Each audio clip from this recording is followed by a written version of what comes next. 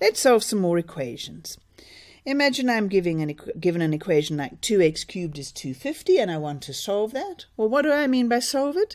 By solve it, I mean I want to figure out what x is equal to.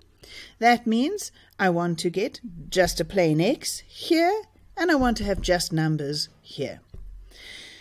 How am I going to do that? Well, I use inverse operations to get rid of anything I don't want. So what have I got here? I've got 2 multiplied by x cubed so to get rid of that 2, I must do the inverse operation, which is to divide by 2. And if I do that to that side, then I must also do it to the other side. And what will I get then? I will get that x cubed is equal to 125. Now the question is, what is x actually equal to? Well, hopefully you immediately by inspection can see that if something cubed is equal to 125, that something has to be 5. But if you didn't see that immediately, you know that the inverse of cubing is taking the cube root, so you must take the cube root of 125, and that'll give you 5. Okay, what about the next one? X squared is 64.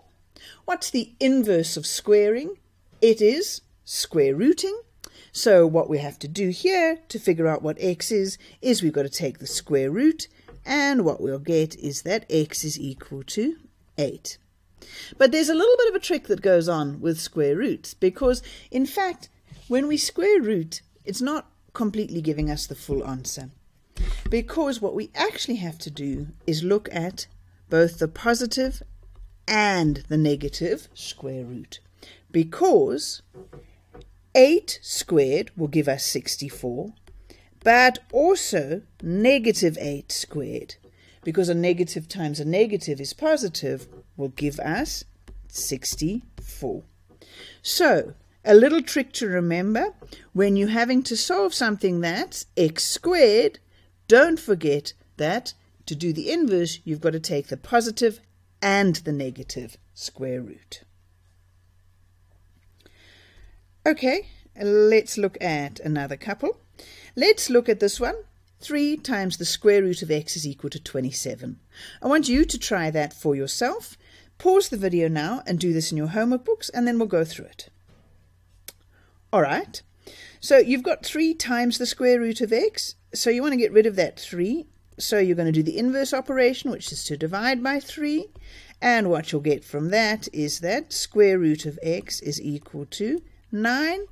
And what you're going to do there to get rid of a square root, inverse operation of a square root is to square. And so what you'll get is that x must be equal to 81. Because the square root of 81 is 9. The last little example I want to do with you is ones where you end up with an exponential in the equation. And these ones can be quite funny, but it's easy enough to do you get, say we have 3 times 2 to the power of x is equal to 24.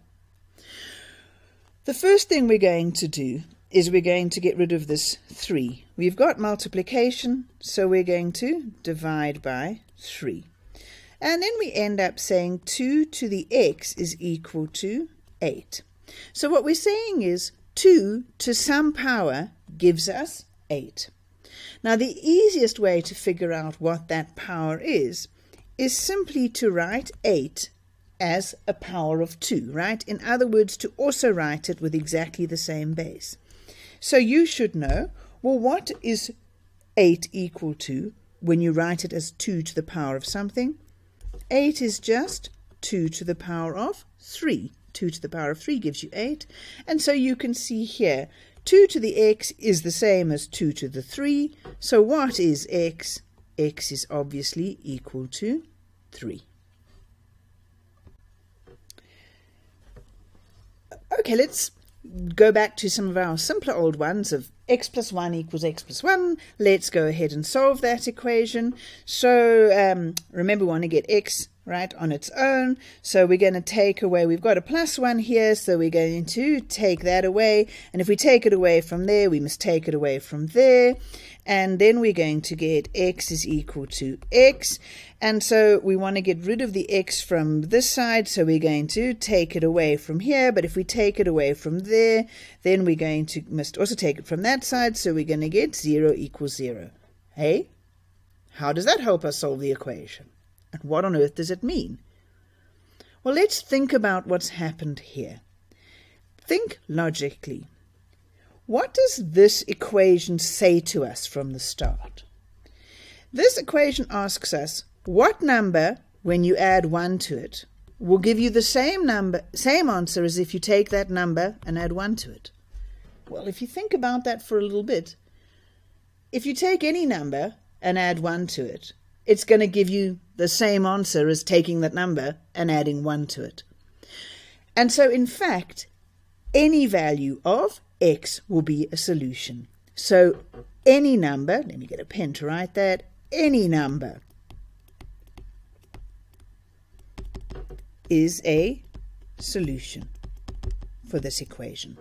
All numbers are solutions of this equation. And we can see that because when we try and solve the equation, we get down to a statement which says 0 equals 0. And when is 0 equal to 0? 0 is always equal to 0. So this is always true, so this is always true, so this is always true. In other words, x plus 1 is always going to be equal to x plus 1. Any value you put in for x is going to make that true, so x is any number. So that's just having a look here. If you end up in a funny situation like that, go back and have a look and see where did you start off?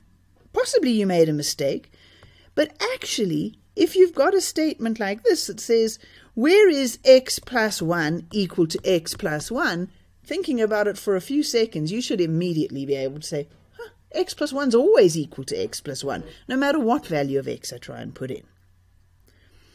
Let's look at another funny one like this. Now I want you to pause the video and think about this for a little while. What do you think my answer is going to be to this thing? x minus 2 is equal to x minus 5. Pause and think.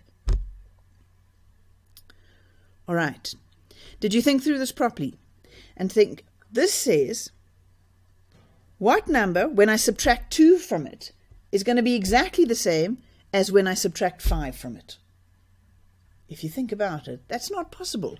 If you start with a number and subtract 2 from it, it can't possibly give you the same answer as than if you start with that number and subtract 5 from it. There's no way you're going to be able to. So, in fact, we can immediately say that this thing has no solution. But let's imagine we just gaily went along and tried to solve this thing. So we tried to get x on its own here, so we're going to add 2 to get rid of the negative 2. So if we do that to this side, we must do it to that side. And so what we will get is we will get x is equal to negative 5 plus 2. That gives me negative 3. And then we want to um, get rid of the x from here. So we subtract x, but if we do it to that side, we do it to that side.